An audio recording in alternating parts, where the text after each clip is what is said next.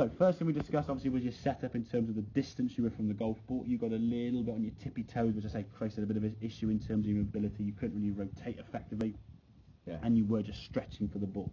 We don't want to stand further from the golf club. Okay. We are further from the ball because the club shaft is obviously longer than a six Yes, iron, but yes. you're not stretching out for the golf ball. So get yourself just nice and relaxed, arms hanging down. Okay.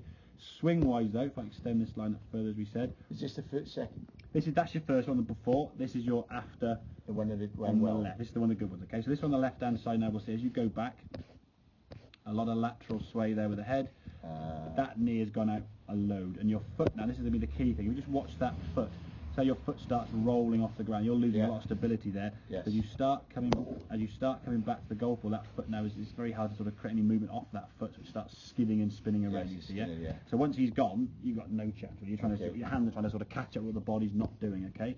This one, although you felt as though you were staying inside that barrel, there's still a little bit of sway, but not Yeah. much. Okay. Your foot now you can see is staying inside. There's not much sway on the outside of that. Staying It's just started to lift a smidgen, but not as much. And your lower half, that knee is inside the line of your foot. Look at that, sort of bending out, there, sort of Yes. rolling out, and that's there. You can see the point of your knees now sticking out there, where that one now is sort of maintained Central, inside that line yeah. there. So you haven't swayed quite as much. The main thing now from there, when you come through, obviously you can rotate through more effectively. The left-hand one here, your foot slipping as you're spinning through. The right foot goes back, you lost balance, and you're sort of pirouetting around there, Yeah.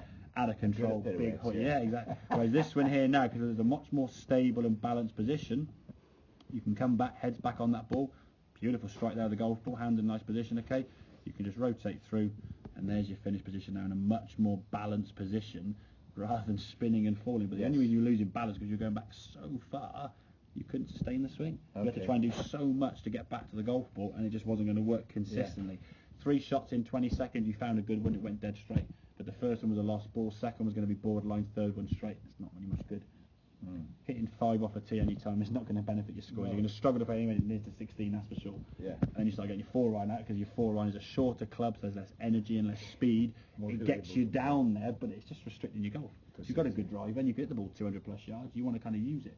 Yeah. Use it in when needed every single hole potentially, but Yeah. when it needs to be done, you can use it. Okay, but I say main focus now, balance a bit more equal in the arches, and try and rotate more around yourself rather than swaying laterally and moving your feet, as I said, outside the edge of the sort of foot there.